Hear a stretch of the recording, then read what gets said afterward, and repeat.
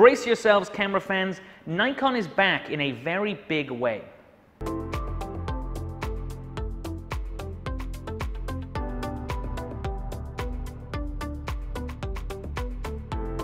The best cameras match power with lightning speed, and Nikon included an awful lot of both in its new D850.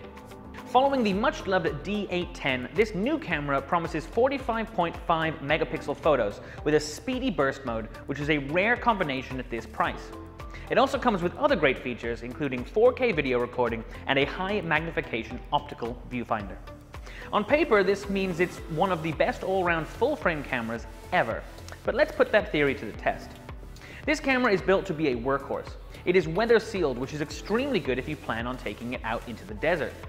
It also has a chunky grip. This is a camera that can definitely take a beating. Continuing the pro theme, the D850 has an easy array of dials and buttons, giving you pretty much every control you could want at the tips of your fingers. This is a very comfortable camera to use for long periods of time because of that. There's also a viewfinder, but not just any viewfinder. This is the largest magnification viewfinder ever found on a Nikon DSLR, which makes it exceptionally crisp and clear, especially when using it to compose your images. You get a super resolution sensor, the ability to shoot at 7.5 frames per second with the same lightning fast autofocus system as used in the Nikon D5. Images are crisp and clear, even in low light, and the amount of detail in the photos from this camera is just simply fantastic. All in all, for photographers looking for pro-friendly features and that can stomach the price tag, the Nikon D850 is one of the best DSLRs you can buy today.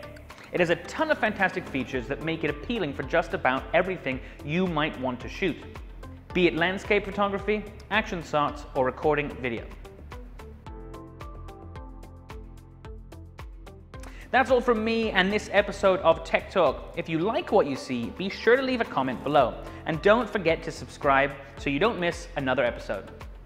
I'll see you very soon.